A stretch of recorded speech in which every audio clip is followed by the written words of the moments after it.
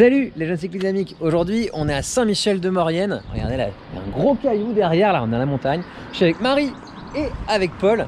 Et aujourd'hui on participe au Galibier Challenge, le Galibier Challenge c'est une cyclosportive. Dans la vallée de la Maurienne, on va aller à Aurel, on va aller sur le col de Beauplan et on va aller là-haut, col du Galibier, ça va être super chouette, allez c'est parti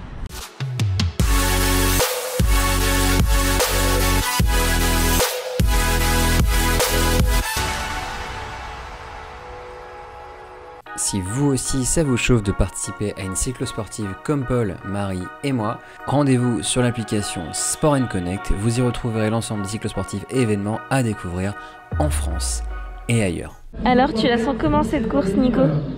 Bah bien, j'ai mal aux jambes, mais bien. Ça va être chouette, je pense. Ça va juste être à fond tout le temps, quoi. 76 km à bloc, donc euh, ça va être long. Les pédales, elles sont alignées, là, c'est bon? C'est bon, ouais. C'est bon, là, on a, on a réglé le problème. Par contre, j'ai un problème de, de pilosité, là. Je sais pas si je vais pouvoir euh, faire un bon résultat avec autant de poids. On va voir. Ce Galibier Challenge 2022, c'est 4 difficultés. La première, au-dessus d'Aurel pour 2 à 3 km.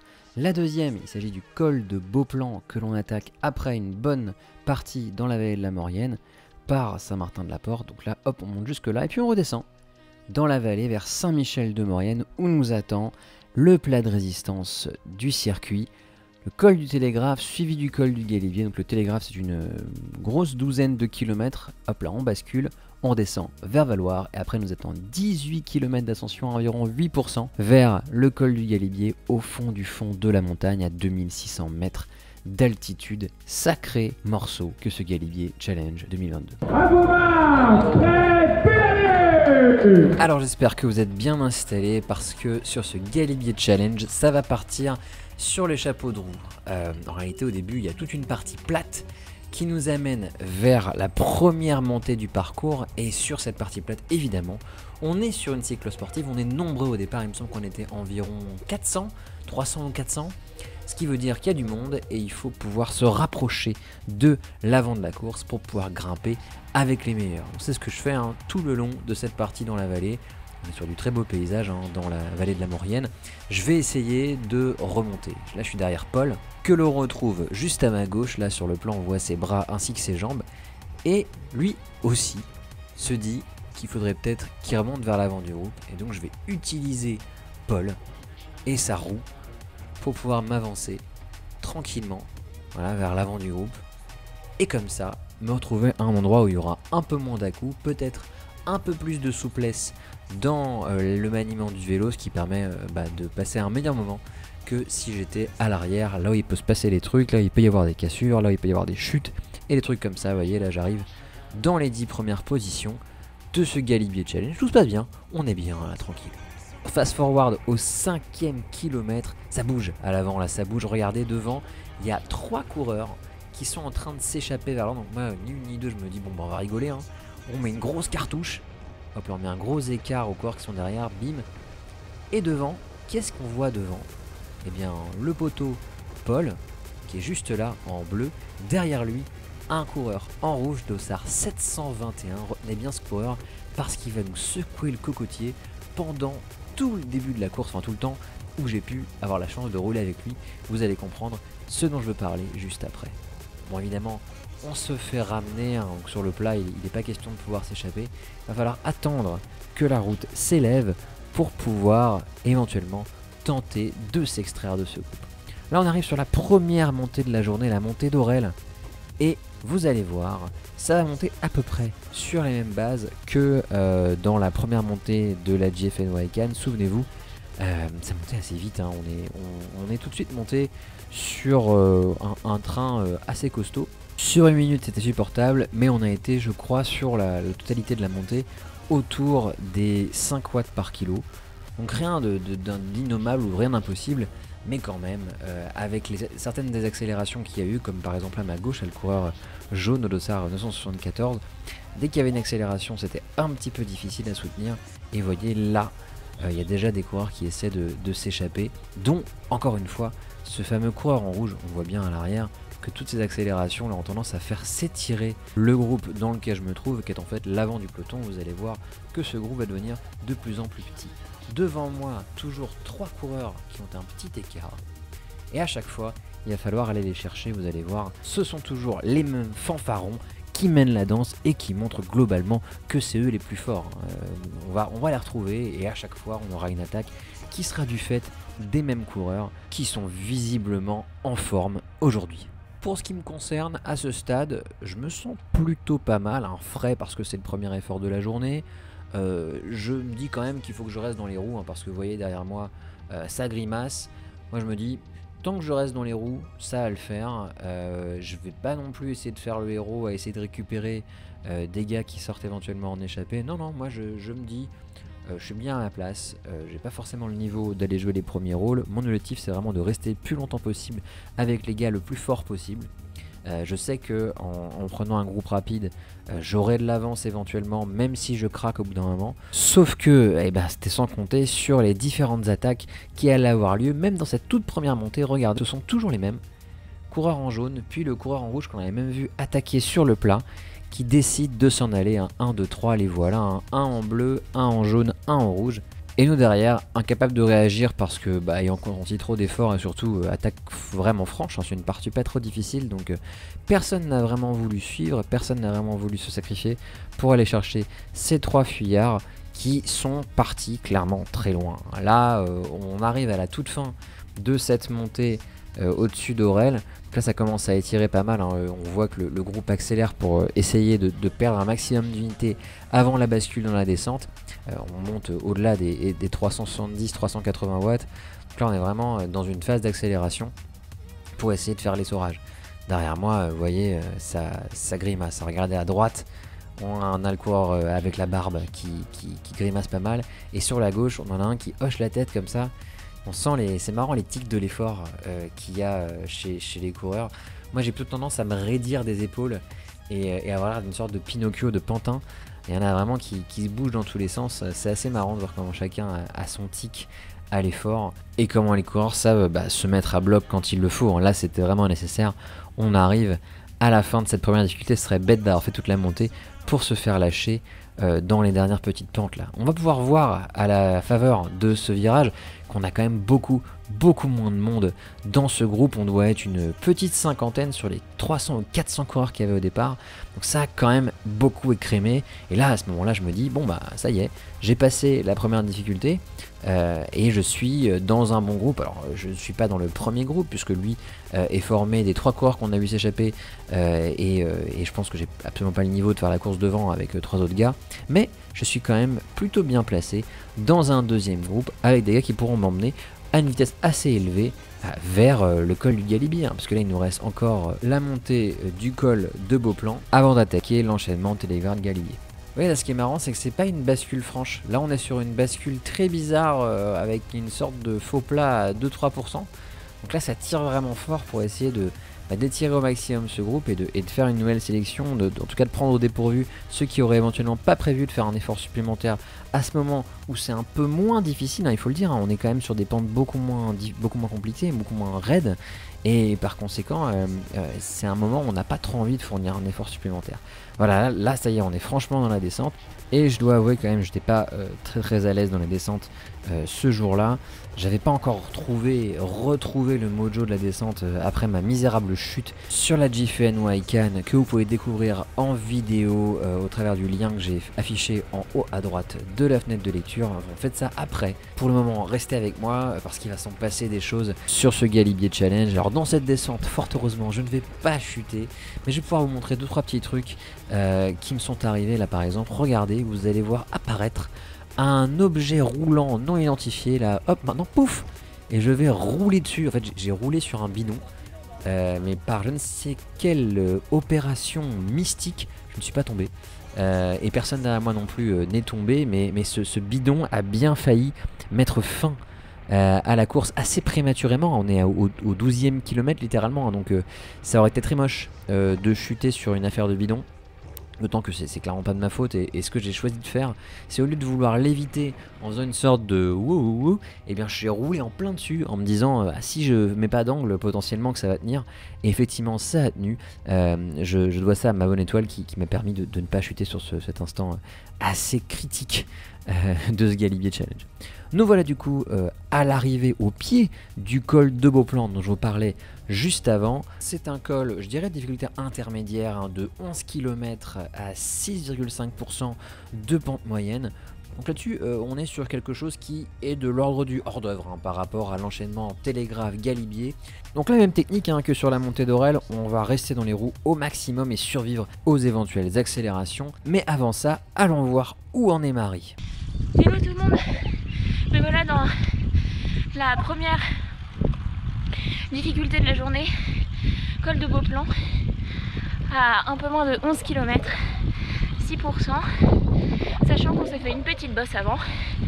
Donc euh, là on est bien dans le dur, il fait très chaud.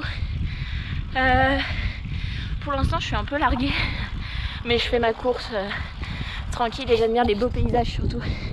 Regardez, c'est magnifique. Retour dans la bagarre, on a passé le village de Saint-Martin-de-la-Porte et à chaque fois que la route devenait plus étroite ou plus pentue, on avait le droit à une belle accélération. Là voilà, on se retrouve à une intensité beaucoup plus élevée que l'intensité moyenne sur la montée. Pour ceux que ça intéresse, j'ai affiché environ 300-310 watts en moyenne sur la montée, ce qui représente euh, dans les 4.5 watts par kilo, un truc comme ça. Donc on était sur un rythme moins élevé naturellement que sur la montée précédente. Cela dit, on était aussi sur une durée d'effort 5 fois plus longue. Donc heureusement que ça allait moins vite, parce que je pense que j'aurais jamais pu monter à la même intensité sur cette montée là, du fait de la longueur même euh, de, la bosse. On est sur du 11 km, ça n'a absolument rien à voir en matière de, de, longueur. Le rythme était quand même systématiquement soutenu au point qu'on était très souvent en file indienne comme ça, et il y avait parfois des cassures qui se formaient parce que personne n'avait vraiment envie de faire les efforts nécessaires à euh, revenir sur un groupe détaché. Franchement, je le comprends parce que moi non plus, j'avais pas du tout envie de faire ces efforts-là. Cependant, seulement, c'était un peu obligatoire, là, comme ici, hein, je me suis un tout petit peu mis dans le rouge pour pouvoir revenir sur ce petit groupe de 7-8 coureurs qui avaient vraiment fait le trou, hein. c'est clairement les plus forts hein, qui sont devant moi. Et ce sont vraiment ces petits efforts consentis là qui vont me donner euh, mal aux jambes, me, fatiguer, euh, me muser, euh, au même titre que ceux qui sont derrière moi là, qui, se détachent doucement du peloton et qui vont sûrement exploser à un moment donné, je commence à ce moment-là à me dire waouh, c'est quand même sacrément long. Je veux dire, je, me dis ça va le faire, mais c'est long. Mais il y a des accélérations. Là, là on est, on est au-dessus de 360 watts. et à chaque fois, il faut consentir des efforts qui sont intenses et qui sont répétés. Et je me demande vraiment quand est-ce que ça va s'arrêter. quoi tout le temps, à chaque, euh, à chaque petite épingle, j'ai l'occasion de voir dans le coin de l'œil, là comme je vous le montre avec la caméra arrière qui va arriver euh, très bientôt, euh, j'ai le temps de voir dans le coin de l'œil s'il y a du monde encore derrière moi, si le groupe est encore gros. Je veux dire, moins il est gros, plus ça m'arrange. Parce que moins il est gros, bah, plus euh, je peux sécuriser euh, une bonne place. Là, je me dis, euh, si je reste là-dedans comme ça, avec cette fréquence cardiaque, et si je subis pas trop le contre-coup de la fatigue musculaire, je peux peut-être accrocher un top 30, un top 20, pourquoi pas? On verra en fonction de, de qui explose, de s'il n'y a pas des coureurs qui seraient sur le point d'abandonner, de, jeter l'éponge, déjà sur le col de Beauplan, avant même d'entrer dans la montée du Galibier.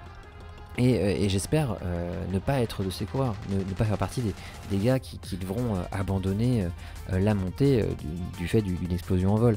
Là par exemple, il y a encore une nouvelle accélération.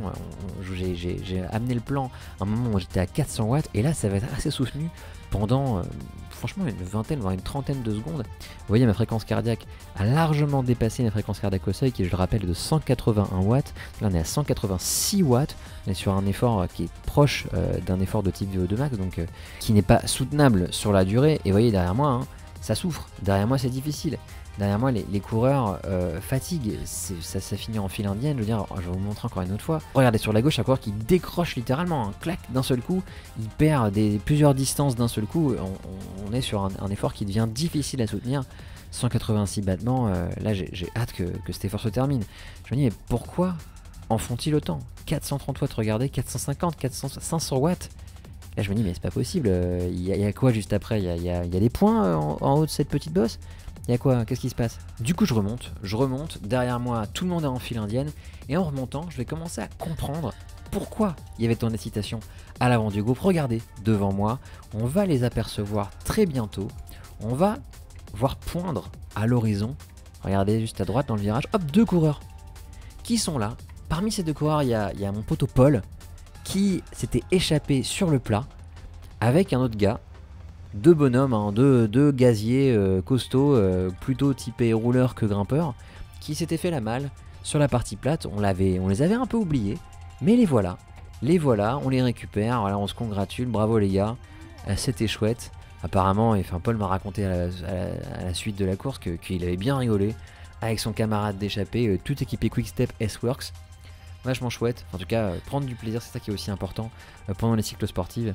Euh, même si parfois ça veut dire cramer des cartouches, je pense qu'il faut se faire kiffer un minimum quand même. Bon, c'est pas tout ça, mais pendant ce temps, elle en est où, Marie? Allez, il me reste 2 km.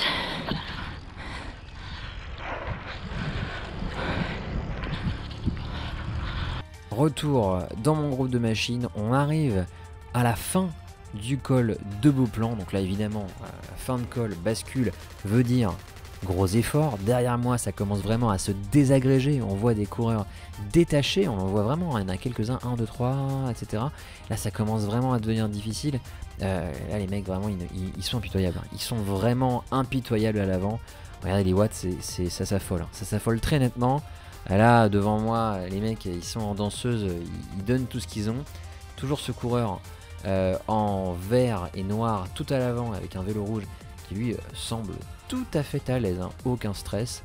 Derrière vraiment tout le monde, c'est le branle-bas de combat hein, pour essayer de remonter sur le groupe. On dirait un peu une comète dont la queue serait en train de se désagréger avec tous les coureurs qui sont aux abois et moi y compris, regardez encore une fois, 400 hein, et les bananes à 186 battements. un truc étonnant là, c'est que le coureur qui faisait le train de tout à l'heure, et eh ben regardez, pouf il est décroché. Enfin, je sais pas s'il se laisse décrocher ou s'il est décroché parce que c'est trop rapide pour lui. En tout cas, euh, il a quand même perdu 10 euh, positions d'un coup. Juste avant la descente, je pense pas que ce soit très judicieux. Enfin, à moins qu'il préfère faire la descente euh, en dernier, mais, mais c'est pas un truc que je conseillerais à qui que ce soit. surtout pas à, moi qui descend pas super bien ce jour-là. Vraiment, et là je vais pas vous cacher un truc, hein, c'est que j'ai pas beaucoup filmé cette descente. Mais je peux vous informer d'une chose, c'est que je vais me faire décrocher dans cette descente. Et ouais, je vais perdre beaucoup beaucoup de positions, il va y avoir des cassures, parce que la descente était un petit peu technique, enfin moi elle m'a posé des problèmes, et je pense qu'elle a posé des problèmes à d'autres gars, parce que je vais pas être le seul à me faire décrocher.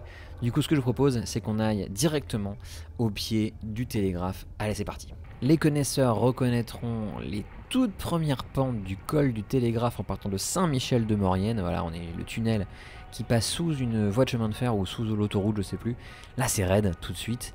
Et là, je commence à sentir un truc euh, que j'avais pas ressenti avant sur le col de Beauplan. C'est. Euh, merde. J'ai vraiment un 39 à l'avant. Genre. Là, je commence à me dire, en fait, toutes les parties raides, là, on est à 8-9%. Toutes les parties raides, je vais commencer à arriver un petit peu au bout de ma cassette. Là, niveau développement, mon développement minimal, enfin, mon braquet minimal, pardon, c'est 39-30. Et 39-30, si je commence à le sentir un peu euh, dans le col du télégraphe qui est quand même moins raide que le col du Galibier, ça veut dire que ça pourra être difficile euh, dans les pentes du Galibier et je commence à le, comprendre. Je commence à me dire qu'est-ce que c'est compliqué. Et en plus, je suis décroché. Là, on est dans un groupe de 4 ou 5. 4 ou 5 gars, on reconnaît euh, le mec avec le vélo rouge et la manche droite verte là, qui faisait le train dans le col de Beauplan, donc qui s'est bien employé et qui a l'air super fort. Devant moi, euh, le gars en jaune, lui aussi était costaud, hein, il a attaqué plusieurs fois. Le gars avec le maillot grand fond d'eau était plus discret, mais quand même costaud. Derrière nous, on le voit pas encore à l'écran, mais il y a un type avec un maillot à rayures qui revient pleine bourre. Alors lui, il a vraiment envie de participer à l'action à l'avant. nous sommes 5. Et là, euh, je commence à sentir que c'est dur. C'est-à-dire que les accélérations, je les sens plus pareilles que dans le groupe, dans le col de Beauplan, c'est plus raide. Euh, pour moi, c'est plus dur. Euh, et là, euh, j'ai vraiment du mal. J'essaie un petit peu de participer à l'effort pour pouvoir revenir sur le groupe qui nous a lâché dans la descente. On le voit, la poindre, ils sont dans le viral, ils sont vraiment pas loin. J'essaie vraiment au maximum d'y aller, mais là, je commence à avoir mal aux jambes. ça fait 43 km, on a, je crois, qu'une heure et demie de, de course c'est dur. on récupère le garçon qu'on avait déjà récupéré de son échappée avec Paul. Euh, là, on, a toujours le groupe devant nous et je pense que les mecs qui sont avec moi, ils savent qu'ils peuvent revenir. Euh, moi, en revanche, je commence à me dire que ça va être très, très compliqué d'aller chercher ces mecs-là. Parce qu'il faut rouler plus vite que le groupe dans lequel les meilleurs se trouvent. Les gars meilleurs que toi, parce qu'ils n'ont pas pété dans la descente. Donc il faut rouler plus vite que des gars plus forts. Ce qui est vraiment, enfin, en tout cas ce que je, commence à, comprendre, que pour moi ça, va être mission impossible. Euh, maintenir plus de 300 watts, 320, 340 watts, là, un truc comme ça, pour rouler aussi vite que mes camarades euh, d'infortune et rouler plus vite que le groupe duquel on s'est fait lâcher, ça va être très très très difficile. Donc là, je, le sens, je, le sens, je le sais, euh, je n'ai plus les watts, je me retrouve un peu bah, lâché, deux groupes de poursuivants. Et d'ailleurs, il, explose sous l'impulsion de, ce fameux coureur qui faisait le train dans le col de Beauplan et qui vraiment est en train bah, d'aller récupérer euh, le peloton tout seul, tranquille.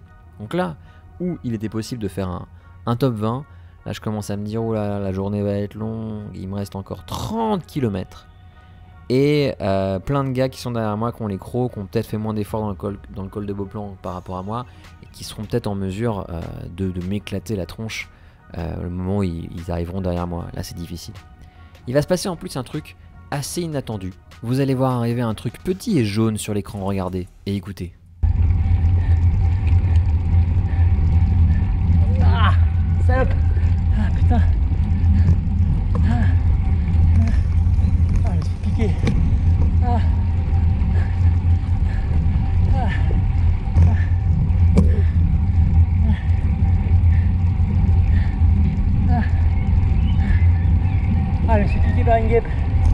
Alors, ce que je vous propose, c'est de revoir ce moment un petit peu absurde en slow motion. Là, on va voir arriver la guêpe, regardez, hop, elle traverse l'écran, là, elle va se fourrer dans une de mes branches de lunettes et passer à l'attaque. Ah, Désolé pour l'insulte, hein, franchement, au moment où ça m'est arrivé, j'avais pas grand chose d'autre à dire, malheureusement. Et à ce moment-là, je suis en train de vraiment de me dire, euh, putain, est-ce que je vais pas gonfler, enfler comme un mec allergique ou je sais pas. Enfin, est-ce que ça va pas être, euh, ça va pas être emmerdant pour la suite de la course, quoi. Mais je continue en essayant de gérer le stress causé par la piqûre. Ah, je suis piqué par une guêpe. En revanche, à ce moment-là, j'ai vraiment compris que bah, je remonterai absolument jamais euh, sur le peloton dont je me suis fait lâcher pendant la descente. Et là, il va falloir vraiment essayer de gérer le reste de la course en solo comme un grand parce que euh, bah, là je vais que me faire doubler quoi. Mais du coup, où en est Marie? J'attaque le télégraphe. C'est dur. J'ai mal aux jambes. Faut que je mange là. Je reprends après. En tout cas, il y a un point commun dans notre expérience avec Marie, c'est qu'on a tous les deux mal aux jambes à l'entrée du télégraphe. Évidemment, comme je vous l'ai dit, je vais me faire doubler. Je me suis fait doubler par ce coureur avec un maillot rouge et noir.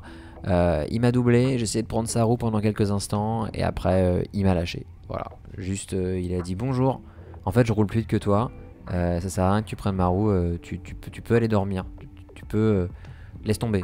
Genre juste gros, ça sert à rien. Du coup, je me fais une raison. Hein. On va on faire ça solo ou avec d'autres gars un peu en perdition comme moi. Mais je me retrouve avec un mec qui va beaucoup beaucoup m'aider euh, sur cette fin de télégraphe. D'ailleurs grâce à lui on, va être encouragé par ce petit garçon qui, nous, qui nous fait des petits pouces, qui nous dit allez les gars, faut que vous y alliez et tout. D'ailleurs ça l'a fait un peu accélérer, regardez, on regarde les watts là. On est allé dans ce coin un peu plus vite grâce à, grâce à cet enfant. Et du coup je me retrouve avec ce garçon euh, qui me semble à un maillot de Chambéry Cyclisme Compétition que je vais suivre pas mal sur le télégraphe qui a beaucoup m'aider à, garder le rythme. Je pense sans lui euh, j'aurais galéré je pense à, à, garder euh, un semblant de, rythme sur cette, ascension. Ça aurait été très très très difficile. je pense que la, douleur serait arrivée beaucoup plus tôt. Donc merci à toi, vaillant sociétaire du Chambéry Cyclisme Compétition. Donc vous l'aurez reconnu, on arrive euh, au col du Télégraphe. Euh, ce qui se passe après, c'est qu'il y a une descente vers la ville de Valoir. Et après la ville de Valoir, on va monter vers le col du Galibier. C'est une ascension de 18 km à environ 8% de moyenne. Euh, à ce moment-là, je me dis, bon ok, tu te refais la cerise dans la descente et après on voit ce qui se passe. Sauf que je savais déjà à ce moment-là si ça avait été dur dans le Télégraphe, que je considère habituellement plutôt comme une formalité, ça allait être une horreur dans le Galibier. Et vous allez voir les puissances affichées. Mais là, euh, on sent vraiment la panne de jambes. C'est le, Nicolas. Le JCD est complètement en train de s'effondrer. Euh, et en plus, pour la, double peine, c'est que, évidemment, je me suis dit, je vais garder le 39, je vais garder le grand petit plateau euh, sur ce Yadigo Hero ICR. Et mais quelle grossière erreur Regardez-moi ça, là je suis dans 9%. Je tourne à 200 watts à 58, 56, 55 tours par minute. Donc là en fait je fais une séance de force euh, à I2 euh, c'est très très dur. J'ai mal aux jambes, j'ai très mal aux jambes et je commence à cramper. Là, à ce moment-là, je, je commence à sentir les crampes dans les ischios. Et là, j'étais au radar pour de l'eau jusqu'à arriver au niveau du plan l'achat, euh, au ravito, juste avant les 8 derniers kilomètres du Galibier, où là, vraiment, je, m'arrête en me disant j'ai besoin euh, de m'arrêter. Il faut que je m'arrête. Si je m'arrête pas, je, pense que j'allais euh, canner, enfin j'allais cramper à mort et ça allait être insupportable. Ça allait être horrible. Euh, donc là, je, vraiment, je me ravitaille, je bois un peu de coca, je remplis mes bidons et je me dis, ça va être un très mauvais moment à passer, mais, mais il faut le faire. Il faut arriver au bout euh, et si, si, tu n'y arrives pas, euh, bah, tu n'auras pas réussi le truc quoi. Donc là, vraiment, je vais essayer de traîner la misère au maximum jusqu'aux 8 derniers kilomètres. Euh, L'explication de, cette situation, c'est que je, ne suis, je ne suis potentiellement pas encore assez entraîné pour faire des efforts soutenus autour de I3 ou du seuil pendant la durée aussi longue. C'est-à-dire que faire une fois 40 minutes autour du seuil, euh, c'est déjà, je pense, un peu la, limite que je suis capable de, fournir. Je ne suis pas trop habitué à des efforts euh, longs et, euh, et sous maximaux.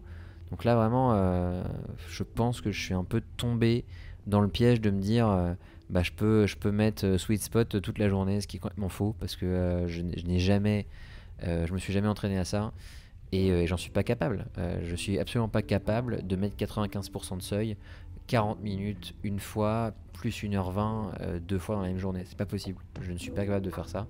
Donc euh, là, je me retrouve à 200 watts, donc c'est équivalent de I2, c'est endurance de base. Sauf que 200 watts dans 11%, regardez un petit peu la cadence de pédalage. Là, je suis sur le 39-30. 50, pour- 50 tours minute, 48 tours minute, je, je titube limite. Alors je, je- je n'arrive pas du tout à emmener ce braquet des enfers euh, qui ne me permet pas de mouliner, qui m'oblige à, me retrouver à, à des, à des cadences infâmes, euh, à des puissances ridicules, euh, enfin qui sont beaucoup moins élevées en tout cas que, celles assez, sympathiques qu'on pouvait voir sur la montée du col de Beauplan. Parce qu'évidemment, la difficulté intrinsèque de ce col, outre sa longueur et, sa raideur, entre guillemets, on est à 9% et ça, ça va jamais descendre en dessous des 8-8%, rend le truc très dur, euh, va me faire cramper. Je vais même devoir m'arrêter, d'abord pour changer les batteries sur les caméras, mais aussi euh, pour soulager ces, ces foutues crampes que j'arrivais vraiment pas, dont j'arrivais vraiment pas à me débarrasser. Vous allez d'ailleurs m'entendre, ça va être une horreur, écoutez un peu. À ce moment-là, j'espère de tout cœur euh, que Marie s'en sort bien parce que moi j'en chie. Euh, je viens de dépasser Valoir et les Vernets. J'ai très mal à la jambe en fait. J'ai une grosse crampe et j'avance pas. Je suis à 100 watts, euh, même pas. Je. Je sais pas. Sais pas si je vais continuer. J'ai envie d'arrêter et en même temps, euh, je me dis c'est trop dommage, mais j'ai tellement mal que. Ça me fait trop chier.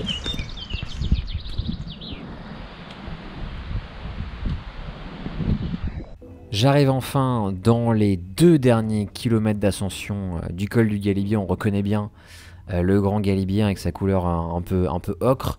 Il y a encore de la neige parce qu'on est au début du mois de juin. Il y a encore de la neige. Le, col, il me semble, vient d'être rouvert. Je crois que ça fait deux semaines euh, à ce moment-là que le col était rouvert. Et là, euh, j'y vais au mental. Quoi. Je, prends une dose euh, de Mentalone 3000 et, j'y vais. Il n'y a plus que ça à faire. Euh, 3000, c'est c'est clairement la, plus forte dose qu'il est possible d'administrer à un être humain. Euh, je me dis, euh, écoute, tu vas pas t'arrêter là, c'est dur, c'est la souffrance, mais euh, t'es un peu humilié parce que là, tu t'es bien dans, tout le début de la course et là, euh, tu t'es fait rattraper par plein de gens. euh, c'est un, un peu la, un peu la honte, quoi. Mais il reste un ou deux kilomètres. Franchement, il reste rien. C'est quelques lacets. Euh, ok, t'as pas les bons braquets, tu le sauras pour la prochaine fois euh, qu'il faut avoir euh, un bon vieux 34 sur, sur le plateau à l'avant pour pouvoir passer ce genre de difficulté. Là vraiment, bon, tu, tu, tu ne te feras pas avoir une seconde fois. D'ailleurs, t'es pas le seul à galérer. T'es pas le seul parce que, regarde ce mec là, juste là, il est en train de. Il est en train de pousser son vélo quoi. Au moins, je suis pas ce mec là. Au moins, je, ne suis pas le gars qui pousse son vélo. Je suis le mec qui, force à 54 tours minutes, euh, 55 tours minutes, pour essayer d'arriver et, d'arrêter la souffrance quoi. D'arrêter d'avoir mal. Là c'est vraiment compliqué c'est vraiment compliqué. T'es au bout quoi. Il reste il reste quoi? 40 mètres de dénive à faire. On n'est plus très loin. Là c'est la souffrance. Je vais vous faire écouter un petit peu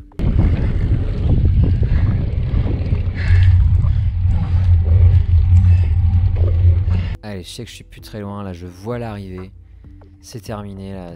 On est, vraiment à plus grand chose, il reste 500 mètres. ce Galibier Challenge m'aura appris un truc, un truc clé. C'est que les braquets, c'est limite plus important que la condition physique. Euh, sur ce genre de cyclosportive, il faut vraiment venir équipé euh, avec, les, bons braquets. Là, je pense que euh, on aurait eu que du beau plan, que des cols à 6%. En 39, ça aurait été ok. Mais là, arriver sur le col du Galibier avec des pentes à 8, 9, 10, 11, 12%, il fallait euh, avoir un beaucoup plus de numérique. En tout cas, moi, j'ai pas le niveau d'emmener du 39 euh, jusqu'à cette altitude. Et avec ces pentes-là, donc note à moi-même. Prochaine cyclosportive, euh, au hasard, la Châtel-Chablais-Léman Race et l'étape du Tour. N'hésite pas à prendre un plateau de 34 à la place du 39 pour passer les plus grosses difficultés. Alors, du côté de Marie, est-ce qu'on a réussi aussi à se faire de ses crampes Eh bien, je l'ai fait. Putain, Franchement, je ne croyais pas arriver euh, jusqu'en haut. J'avais des crampes, c'est la première fois que ça m'arrive aussi longtemps. Mais euh, je me suis dit petit à petit, step by step. Et voilà, les conditions sont dantesques. Je sais pas si vous voyez, mais il pleut, il y a du vent, il fait froid. Mais voilà, je suis hyper fière de moi de l'avoir fait, franchement. À Valoir, j'y croyais pas du tout. Je me suis dit, ouais, je vais m'arrêter et tout. Et, euh, et, au final, j'ai serré les dents et ça a été, j'ai pris des et voilà. Je suis hyper contente. Et là, je vais retrouver les garçons, Nico et Paul en bas, qui doivent m'attendre. Et euh, on va fêter ça euh, tous les trois ensemble. Je vous remercie de nous avoir suivis jusque-là. J'espère que cette vidéo vous a plu. D'ici à ce qu'on se recroise ici même sur la route ou sur les réseaux, je vous dis allez, ciao.